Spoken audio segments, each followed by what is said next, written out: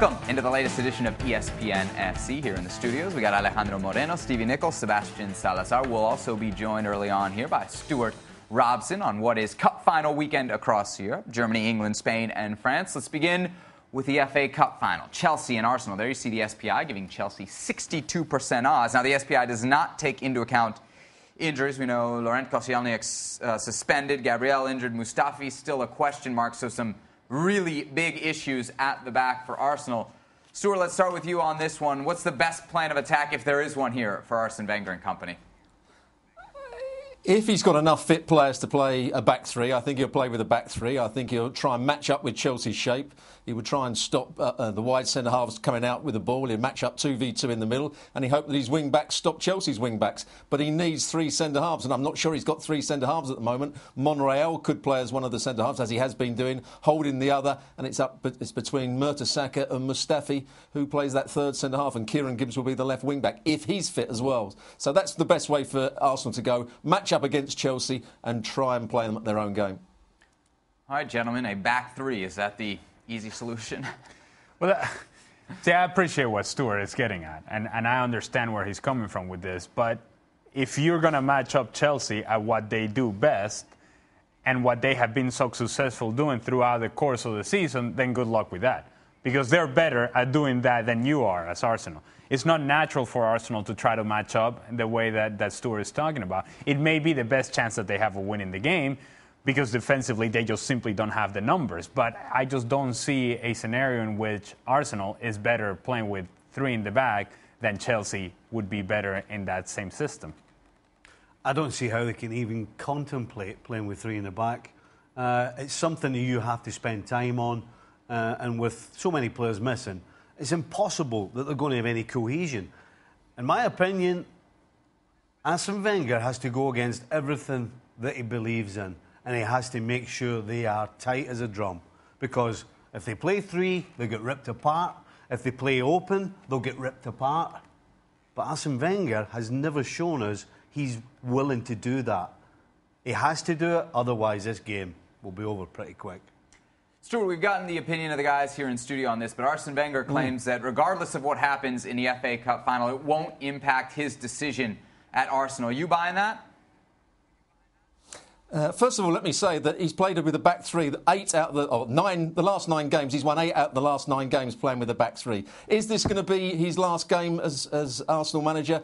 I don't think it's going to be the case. I think he'll stay on. There's question marks now. I think the board is starting to question him. Even Gazidis is talking about a director of football, which Arsene Wenger only two weeks ago said he didn't know what a director of football did, so he was almost going against the board there. But he's changed his tune slightly. Before he was saying it was his decision. Now he's saying his his uh, future will be decided after the FA Cup final, and I think that might be by the board. If they win the cup final, I think he'll stay in a job. If he doesn't win the cup final, the pressure on him will be immense. Guys, you agree? What I agree with is the idea of the board making the decision rather than Arsene Wenger making the decision. As accomplished as he has been a, uh, as a manager for Arsenal, there comes a point where somebody above Arsene Wenger has to have the vision of what is the, in the best interest of Arsenal going forward. Not a sentimental decision, but an objective decision. Where is this club going, and is Arsene Wenger the best person to lead this, this club forward? I don't think that that's the case. But the board has to be objective, and they have to have the power to make that decision. We are of the thought and the idea that maybe Wenger decides when he comes and when he goes. At some point, the leadership of Arsenal has to show up and say, we make the decisions and we are ready to move on. Do you suppose there's some negotiating here? You know, backroom changes, sporting director. Could Arsene Wenger work with that pressure? Um, I'm not. I'm not sure it's about the pressure. If if he is forced into having less say in matters, how does that leave him? How does he feel when you've been in charge of every single thing at a football mm. club, and all of a sudden they start taking strength away from you? That's the beginning of the end, right there. That's the beginning of the end. Absolutely. I mean, I've always thought he'll stay because I thought he was the one that had the choice. If he doesn't have the choice and they start pulling, pulling his strengths away, I think he may not be there. Stewart, what do you think about this? Well, the problem is, whatever they do, if, if, Arsenal decide to sack Arsene Wenger, they've left it far too late. We've been talking about this for now about four or five months, where Arsene Wenger said, first of all, it was his decision, and he'll let us know when, when he felt like it. Now he's also suggesting that the board might make the decision. If they go and sack him, or, or, he, or he leaves, where are they going to find the next manager from? They're going to have to do it very quickly. The next manager who comes in has got to have his own sort of players to come in, so the transfer kitty may be changed, and the people they're looking at will be changed suddenly. He'll have to look at the players that they've got, the ones they're trying to sign, like Sanchez, like Ozil. Will they want to keep Ozil, the new manager? Will they want to keep some of the other players that I think have been at the club far too long and not doing the job particularly well? So it's a massive change they're going to make, and they've left it far too late. Arsene Wenger should have been sacked or, or left his post a couple of years ago, and they should have been building up to it the year beforehand. At the moment, they don't know who the next manager is going to be, and the next manager that comes in will have absolutely no chance at Arsenal because the philosophy, the mentality is all wrong. You know that Stewie secretly doesn't want Arsene Wenger sacked, right? Because he, he won't give him, he, will, he won't have anything to talk about if he's gone. Uh, one end of the coaching spectrum, Arsene Wenger. At the other, Antonio Conte, looking for a double in his first season in charge of Chelsea. Stewart, coming right back out to you on this. Antonio Conte, historic in so many ways, but what an incredible debut campaign in the Premier League for the Italian manager. And we shouldn't be surprised, really. For three years, he was magnificent for Juventus. He wasn't so good in the Champions League fund, but in uh, in the in Serie A, they were absolutely brilliant. They played good football. You could see what they were trying to do. You could see their philosophy. You could see their patterns of play. When he was with Italy in the European Championship, we saw that performance against Spain, where he totally masterminded a, a brilliant tactical display. And after changing to a back three with Chelsea after uh, after four or five games when he's always played with a back three. They have been absolutely magnificent. He's managed the players well, he's managed the tactics well, and also he's managed the, the hierarchy well. Guys, considering where Chelsea was a year ago, I mean, an FA Cup final here puts the icing on a pretty impressive cake for Conte, doesn't it? Yeah, and we're talking about a team that, as you just alluded to, was floundering last season, and they and it was essentially the same group of players. Uh, give or take a few. Clear and N'Golo Kante has made a difference to this team, and there are a couple of players that have added something to Chelsea. But the key players in this group, Eden Hazard, who was uh, underwhelming to say the very least uh, under Jose Mourinho at this time last season. You look at a team that reacted and bought into the idea of Antonio Conte. But in order to do that, you have to have a manager that is infectious, a manager that brings a different energy, that brings a different uh, optimistic attitude about work, about grinding results, about tactical awareness, discipline, all these things that we like to speak of in sort of general terms. But with Chelsea, you see it specifically being uh, executed properly on the field. All right, we're less than 24 hours out now. Let's get some predictions. Stevie, start with you. Seriously? I mean, we got to. Chelsea. how does Arsenal win this game? I don't know how to do it. Give us a score. Give us a score. 3 0, Chelsea. Wow. Yeah, it's, it's, it's difficult to make an argument for Arsenal here. We, they have their defensive problems. They, Koscielny's not there. They have holes everywhere. And you just match them up, man for man, against Chelsea, and I'll take Chelsea's players. In the end, it has to be Chelsea the winner. Stewart, your prediction? You can only see Chelsea winning the game unless Sanchez has the game of his life and Petr Cech makes 10 or 11 good saves. It's going to be Chelsea, I think. Thank you very much, Stewart. All right, here's the SPI. We mentioned Cup final weekend across Europe for the German Cup final between Eintracht Frankfurt and Borussia Dortmund. Dortmund looking to avoid a fourth straight defeat in the German Cup final. And we'll be discussing that match and much more on the next edition of ESPN FC. For to find us, check your local listings. Silly season cometh when we return the latest transfer rumors, including the latest on Alvaro Morata. Stay with us. The exit door wide open at oh. Manchester City. As we see all those headed towards the end of their time with Manchester City. Jesus Navas, Gael Clichy, Bacary Sagna, Willy Caballero, and Pablo Zabaleta, just to name a few. Gab, that means there's obviously space on the roster for more additions, but Bernardo Silva now set to come over from Monaco. What can you tell us about that deal? Uh, well, he flew into Manchester, and uh, the indications are that uh, it, it's all very close to being done. Uh, I think, obviously, we're all familiar with the player. uh, he does seem to be a little bit in the mold of uh, of some of the guys already there, and I think offers a pretty cool, a pretty important indication of, uh, of, of how Pep Guardiola wants to wants to play going forward. Guys, I've seen some criticism of this move that it's kind of a luxury move from Pep Guardiola. Do you agree with that? I think what it refers to is what also Gab mentioned there is that there seems to be a lot of players that would be kind of like Bernardo Silva. And, and so where do you play him? And that's the real question. Leroy Sané seems to be a guy that have, has gotten a hold of that left sided position. Then you have David Silva, Kevin De Bruyne, who has become more of a central player. So is Bernardo Silva the guy who's going to give you speed on the right hand side? That's not what he does best. Do you sacrifice Raheem Sterling?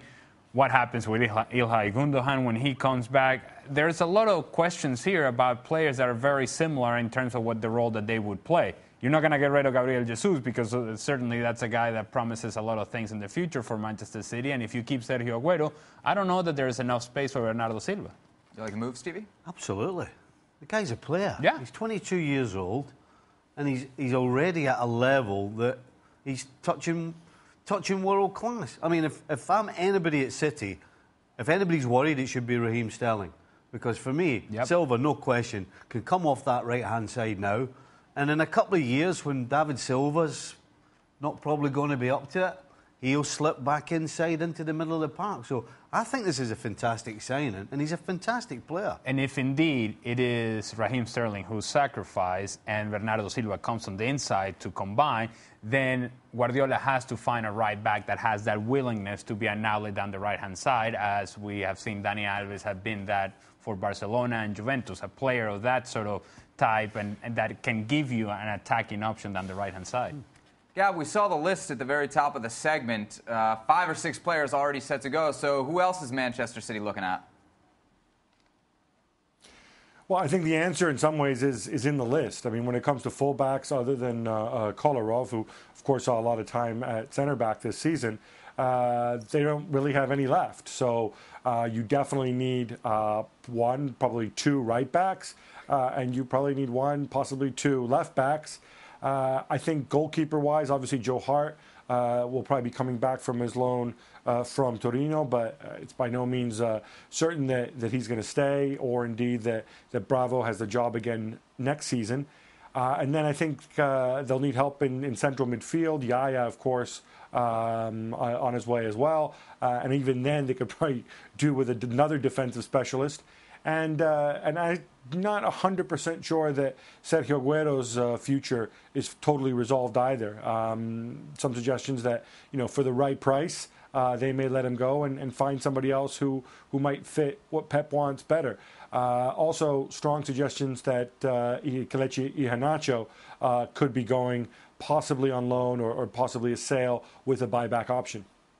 Gab, let's stick on the transfer front here. It seems like there's more smoke with Alvaro Morata potentially going to AC Milan. Will this eventually end in fire and him heading to a return in Italy?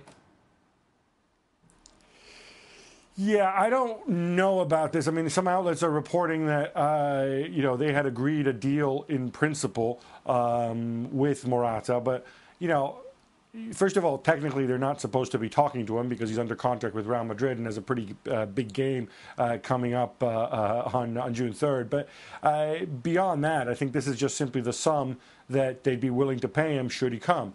Uh, Alvaro Morata is getting married on June 24th.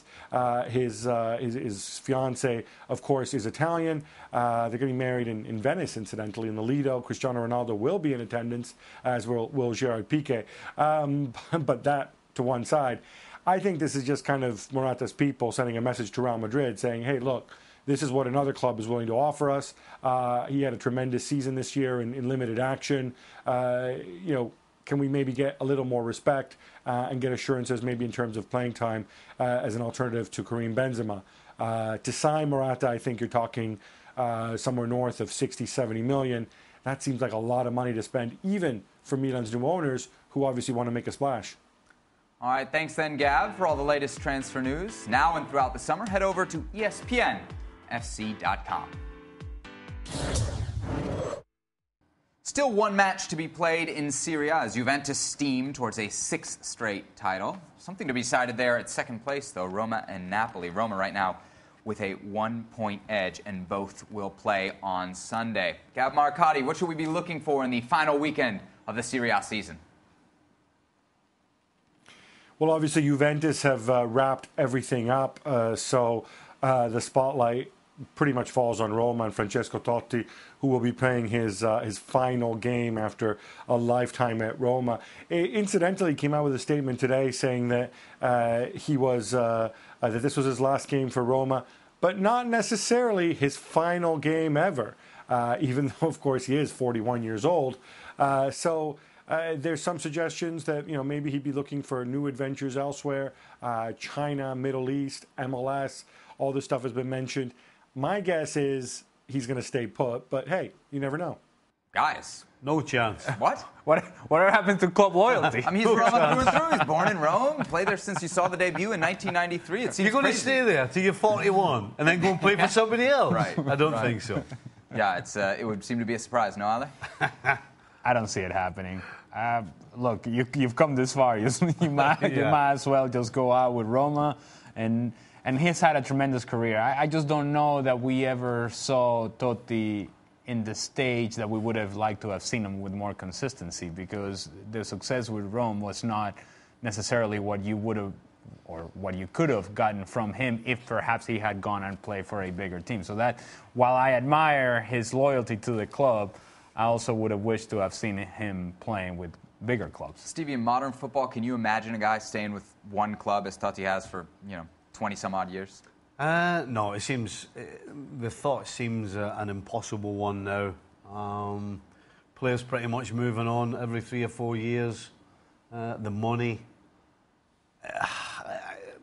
loyalty is loyalty is not something that you can buy. It's, it's something that you have inside of you. And there aren't many players that have that inside of them, certainly nowadays. Gab, real quick uh, on Roma, Luciano Spalletti, their manager, has been linked to Inter. Is that something we think we'll see get done in the next couple of weeks? Well, uh, Inter certainly um, they're, they're, casting a very, very wide net. They, they, have been chasing uh, everybody from Conte to Simeone to Laurent Blanc. Uh, Spalletti's fallen in there. Spalletti has the big bonus, of course, of being available because uh, he's most likely going to leave Roma uh, in a few days. So, um, you know, I think he's there. He's willing to talk to them. He's going to want assurances of uh, in terms of how the club's going to be run. Inter needing all the help they can get right now. Seventh heading into the final. Who's the replacement if he does leave Roma?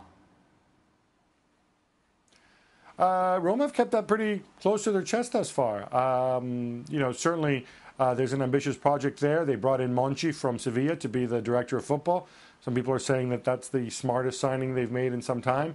So, um, you know, he's getting on with it, and uh, we'll see. Welcome back to the show, Gab. It's been a difficult week for European stars and their issues with the taxman. What can you tell us about the latest with Cristiano Ronaldo, who's now been implicated? Well, uh, prosecutors in uh, in Spain have been looking in uh, some of the uh, Ronaldo's tax situation, especially following uh, the revelations uh, from the so-called football leaks leak earlier earlier this year. suggestions that Cristiano Ronaldo and Jose Mourinho, in fact, used a complicated web of offshore companies to minimize their tax burden. you might have seen headlines that they're talking about, you know, possibly a five-year prison term. Uh, the interesting thing here, though, is all this is, is, is premature uh, at this stage because he hasn't even been charged yet. He's simply been investigated, and the investigation's over, and now it's going to be up to the prosecutor to decide whether they charge him. Um, but what is uh, what is remarkable here, though, is that we're talking about 15 million uh, in allegedly evaded taxes, uh, and if you use a sliding scale and compare it to Messi with Messi, it was 4.1 million, and he got a 21 month uh, uh, prison sentence, which he's not going to serve because it's less than two years. But that key is those two years. Uh, should be, Ronaldo be uh, charged? Should he be prosecuted? Should he be found guilty? Should he get a sentence of more than two years? Then you could be, then you could start talking jail time. But you know what? That day is far, far away. For now, he has not even been charged, and it's uh, it's important, I think, to bear that in mind. Juventus Real Madrid. What's your itch as we get into the final week here of preparations? Well, I think a lot's going to depend on uh, on what condition some of the guys who some of the injured guys are going to be in going into the game. Uh, obviously, you're talking about people like like Dani Carvajal, like uh, like Sami Khedira on the other side who are coming back into it. Uh, I would assume that they're going to be uh, fit somehow, possibly Gareth Bale too. Uh, but the reality is, you know, we just don't we just don't know at this stage, and I think that's going to uh, really affect how, how how this game pans out and, and how the two coaches prepare. Ale, you'll be in Cardiff. Do you have starting to lean one way or the other here? Oh, I've been leaning all the way over to Juventus the whole time. I look at Juventus and their balance is far superior to that of Real Madrid. Individually, Real Madrid, I think, is more talented than Juventus, but overall, the work of the group defensively by Juventus, not only out of their out of their out of their defenders, but out of the midfield, even the guys up top, how they're able to get behind the ball, make it very difficult to break down. But they also have the talent that when they win the ball, they're able to go on the attack, and they have enough talented players in that attacking half that they can create problems of their own. That in itself, that combination, I think, will be enough for Juventus. I don't disagree with you on Juve, but it's kind of wild to think of Real Madrid as an underdog in any match. Well, it is, but I think that tells you more about Juventus and Real Madrid. I think Juventus, for me, are, are the team in form. Uh, they're the team that I think has no flaws, uh, where Real Madrid's flaw is uh, defensively. And that's pretty much why I'm going to go for Juventus. Juventus and Real Madrid. You Uh, think by, by the way, flawed defensively? and I don't, I don't, and I don't Yeah. think, I don't think that Real Madrid comes into this as underdogs. I- it- Real Madrid in a final is not an underdog. Underdog's the wrong word. Well, he used it. I'm pointing the finger at me. Put the blame That on the guy. host. That's the best way to do it. We'll see you next time on ESPN FC. All right, we've made it to extra time here on the show. Alejandro Moreno, Stevie Nicol, Sebastian Salazar, Gab Marcotti standing by. Hashtag FC Extra Time if you want to get involved. Let's go out to Gab for the first one. This one coming in from Joey. Gab, who is the best European team to not win a trophy this season?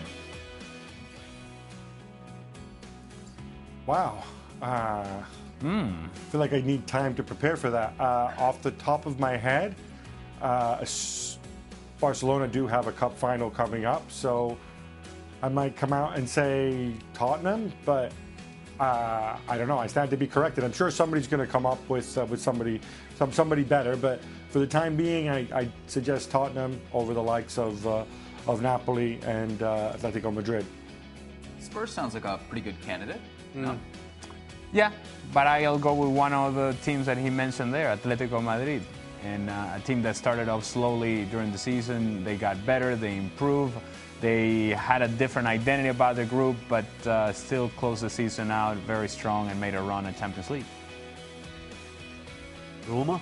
Nobody mentioned Roma. You can On the day, on the day, it could be anybody.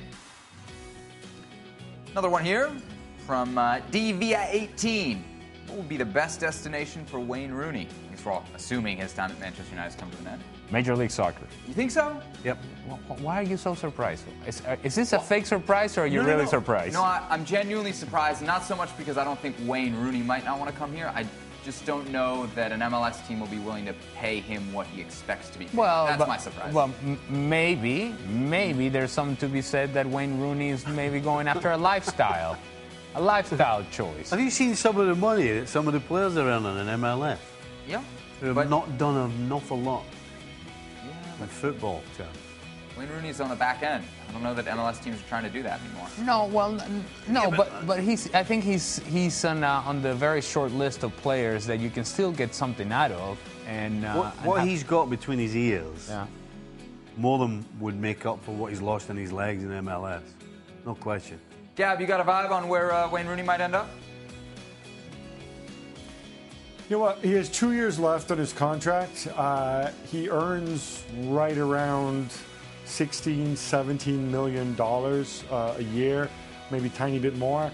Uh, I, I don't know who's going to pay that money. So I think the key thing is if Wayne Rooney wants to move from uh, United, uh, he's going to have to take a pay cut. And that's if he stays here in England or if he goes to MLS or elsewhere. I, I just don't see anybody ponying up that kind of money except possibly China, but those thoughts have, have filled up pretty fast. The reason I mention MLS right off the bat is because it, it, it is a lifestyle choice. The fact that he can walk the streets here in the United States and there won't be the sort of pressure and hounding pressure that would be in a place like England or even, even China. He'll blend in in the United States. And, and it's something entirely, totally different as to what he has experienced over the course of his career. And maybe a change in that lifestyle may be something good for Wayne Rooney and his family. Is there a team that you think makes sense? Oh my goodness! You just went from you just went from, from you just went from MLS what no MLS uh-huh.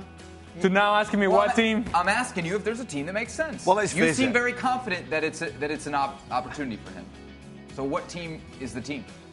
Well, if he's willing to take this pay cut that Gab is mm. talking about, and this is indeed just a lifestyle choice, then you start thinking, well, what are the teams that could actually afford this? And so the New York teams come up, the LA teams come up. Those are the logical choices. I don't see Wayne Rooney going to Columbus. I don't see Wayne Rooney going to Salt Lake, and I love me some Columbus. But that's, that's where I play. No, I don't think Wayne Rooney's going to go to Middle America. Come on now, you, you, know, you, you know the answers to these questions. Come on. Yeah, I mean, You've been a, around There's a few other, other big spenders, but yeah, you, you pretty much covered them. All right, Sanjay, uh, worst transfer of the last year. Stevie? Well, I think it has to be Janssen. It's Spurs. You buy a centre forward, you buy a striker, you think you're buying goals, and what did he give you? One? Not goals. No, he did. He did. He got one. He got one at the end of the season because, ironically, all the fans went mental. Well, everyone got one at because the he end of the actually for Spurs. because he actually scored the goal. I mean, I'll go with got to be Janssen. with Claudio Bravo, and, and and on many levels, because you you moved an important part of your team off to Torino uh, as if he was just some other guy. So Joe Hart gets moved all over the place. You bring Claudio Bravo and you say, you know what?